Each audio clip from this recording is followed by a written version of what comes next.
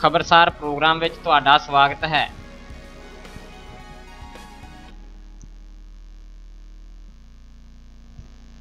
ਮੰਤਰੀ ਮੰਡਲ ਵੱਲੋਂ ਅਰਥਚਾਰੇ ਤੇ ਉਦਯੋਗ ਦੀ ਪੁਨਰ ਸਰਜੀਤੀ ਲਈ ਆਬਕਾਰੀ ਨੀਤੀ ਅਤੇ ਕਿਰਤ ਕਾਨੂੰਨਾਂ 'ਚ ਬਦਲਾਅ ਕਰਨ ਬਾਰੇ ਵਿਚਾਰ ਚਰਚਾ। ਮੰਤਰੀਆਂ ਨੇ ਆਬਕਾਰੀ ਵਿਭਾਗ ਪਾਸੋਂ ਵਿਸਤਾਰਿਤ ਪ੍ਰਸਤਾਵ ਮੰਗਿਆ। ਮਜ਼ਦੂਰਾਂ ਨੂੰ ਰੱਖਣ ਲਈ ਸਾਰੇ ਭਲਾਈ ਕਦਮ ਚੁੱਕੇ ਜਾਣ ਦੀ ਲੋੜ ਮੁੱਖ ਮੰਤਰੀ ਨੇ ਉਦਯੋਗ ਵਿਭਾਗ ਨੂੰ ਦਿੱਤੇ ਹੁਕਮ।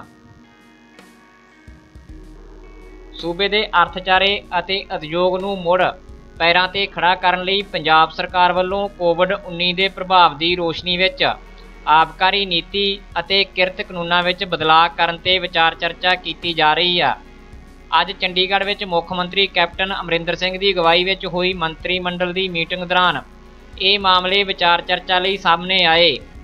ਕੈਪਟਨ ਅਮਰਿੰਦਰ ਸਿੰਘ ਨੇ ਮੁੜ ਦੁਹਰਾਇਆ ਕਿ ਸਰਕਾਰੀ ਮੁਲਾਜ਼ਮਾਂ ਲਈ ਵੀ ਮੁੱਖ ਮੰਤਰੀ ਕੋਵਿਡ ਰਾਹਤ ਫੰਡ ਵਿੱਚ ਯੋਗਦਾਨ ਪਾਉਣ ਦਾ ਫੈਸਲਾ ਸਵੇ ਇੱਛਕ ਹੋਣਾ ਚਾਹੀਦਾ ਹੈ, ਜਿਵੇਂ ਕਿ ਇਹ ਹੋਰ ਵਰਗਾਂ ਲਈ ਹੈ। ਆਬਕਾਰੀ ਨੀਤੀ ਬਾਰੇ ਮੰਤਰੀ ਮੰਡਲ ਨੇ ਨੀਤੀ ਅਤੇ ਇਸ ਨੂੰ ਲਾਗੂ ਕਰਨ ਲਈ ਕੋਵਿਡ ਅਤੇ ਲਾਕਡਾਊਨ ਦੇ ਪ੍ਰਭਾਵਾਂ ਬਾਰੇ ਵਿਸਤਾਰ ਵਿੱਚ ਵੇਰਵੇ ਮੰਗੇ ਹਨ।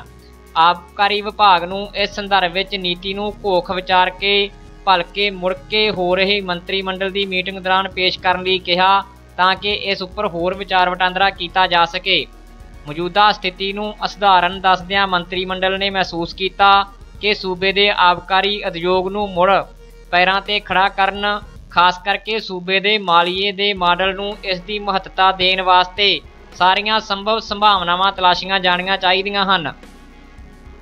ਇਸ ਤੇ ਜ਼ੋਰ ਦਿੰਦਿਆਂ ਕਿ ਉਦਯੋਗਿਕ ਖੇਤਰ ਵੱਲੋਂ ਕਿਰਤੀਆਂ ਨੂੰ ਆਪਣੇ ਨਾਲ ਜੋੜ ਕੇ ਰੱਖਿਆ ਜਾਵੇ ਅਤੇ ਕਾਮੇ ਪੰਜਾਬ ਵਿੱਚ ਰੁਕਣ ਨੂੰ ਹੀ ਤਵੱਜੋ ਦੇਣ।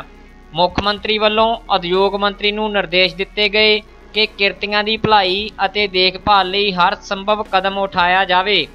ਇਸ ਦੌਰਾਨ ਮੰਤਰੀ ਮੰਡਲ ਵੱਲੋਂ ਲਾਕਡਾਊਨ ਦੀਆਂ ਬੰਦਸ਼ਾਂ ਵਿੱਚ ਮਿਲੀ ਛੋਟ ਦੇ ਚੱਲਦਿਆਂ 9500 ਹੋਰ ਯੂਨਿਟਾਂ ਦੇ ਕਾਰਜਸ਼ੀਲ ਹੋਣ ਦਾ ਸਵਾਗਤ ਕੀਤਾ ਗਿਆ ਹੈ ਕੈਪਟਨ ਅਮਰਿੰਦਰ ਸਿੰਘ ਨੇ ਕਿਹਾ ਕਿ ਇਹ ਆਪਣੇ ਆਪ ਵਿੱਚ ਹਾਂ ਪੱਖੀ ਪਹਿਲੂ ਹੈ ਕਿ ਉਦਯੋਗਿਕ ਯੂਨਿਟਾਂ ਵੱਲੋਂ ਕੰਮਕਾਜ ਚਾਲੂ ਕੀਤੇ ਜਾਣ ਸਦਕਾ ਆਪਣੇ ਜੱਦੀ ਸੂਬਿਆਂ ਨੂੰ ਵਾਪਸ ਜਾਣ ਲਈ ਰਜਿਸਟਰਡ ਹੋਣ ਵਾਲੇ ਕਿਰਤੀਆਂ ਵਿੱਚੋਂ ਹੁਣ ਤੱਕ 35% ਨੇ ਪੰਜਾਬ ਵਿੱਚ ਹੀ ਰੁਕਣ ਦਾ ਫੈਸਲਾ ਕੀਤਾ ਹੈ।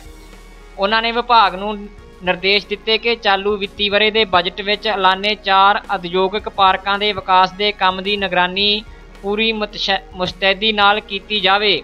ਕੈਬਨਿਟ ਨੇ ਇਹ ਵਿਚਾਰ ਰੱਖਿਆ ਕਿ ਕਈ ਮੁਲਕ ਆਪਣੇ ਉਦਯੋਗਿਕ ਕੰਮਕਾਜ ਨੂੰ ਚੀਨ ਵਿੱਚੋਂ ਹੋਰਨਾਂ ਮੁਲਕਾਂ ਵਿੱਚ ਤਬਦੀਲ ਕਰ ਰਹੇ ਨੇ। ਇਸ ਦੇ ਚੱਲਦਿਆਂ ਉਦਯੋਗ, ਖਾਸ ਕਰ ਫਾਰਮਾਸਿਊਟੀਕਲ ਪੈਸਟੀਸਾਈਡ ਯੂਨਿਟਾਂ ਦੇ ਇਧਰ ਆਉਂਦੀਆਂ ਭਰਪੂਰ ਸੰਭਾਵਨਾਵਾਂ ਨੇ। ਇਸ ਦੌਰਾਨ ਮੰਤਰੀ ਮੰਡਲ ਵੱਲੋਂ ਪ੍ਰਵਾਸੀ ਕਾਮਿਆਂ ਦੀ ਕਮੀ ਦੇ ਚੱਲਦਿਆਂ ਝੋਨੇ ਦੀ ਬਿਜਾਈ ਵਿੱਚ ਜ਼ਾਹਰਾ ਤੌਰ ਤੇ ਆਉਣ ਵਾਲੀਆਂ ਮੁਸ਼ਕਲਾਂ ਬਾਰੇ ਵੀ ਸਹਿਮਤੀ ਪ੍ਰਗਟਾਈ ਗਈ।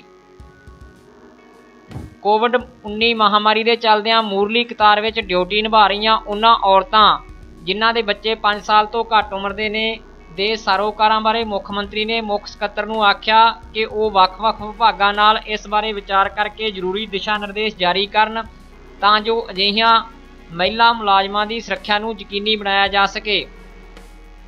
ਸਕੂਲਾਂ ਦੇ ਨਾਨ ਟੀਚਿੰਗ ਸਟਾਫ ਲਈ ਤਬਾਦਲਾ ਨੀਤੀ ਨੂੰ ਪ੍ਰਵਾਨਗੀ।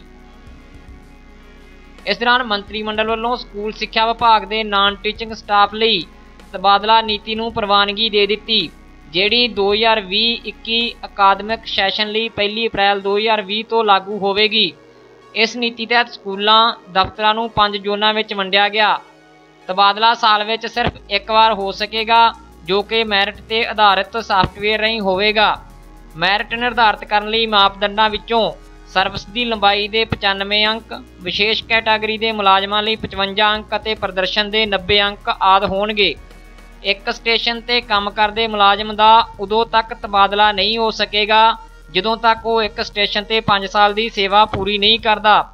ਇੱਕ ਵਾਰ 5 ਸਾਲ ਪੂਰੇ ਹੋਣ ਤੇ ਮੁਲਾਜ਼ਮ ਦਾ ਲਾਜ਼ਮੀ ਤਬਾਦਲਾ ਉਸ ਦੀ ਇੱਛਾ ਅਨੁਸਾਰ ਹੋਵੇਗਾ। ਜੇਕਰ ਕੋਈ ਮੁਲਾਜ਼ਮ ਆਪਣੀ ਇੱਛਾ ਨਹੀਂ ਦੱਸਦਾ, ਤਾਂ ਉਸ ਦਾ ਤਬਾਦਲਾ ਵਿਭਾਗ ਆਪਣੇ ਆਪ ਕਰ ਦੇਵੇਗਾ।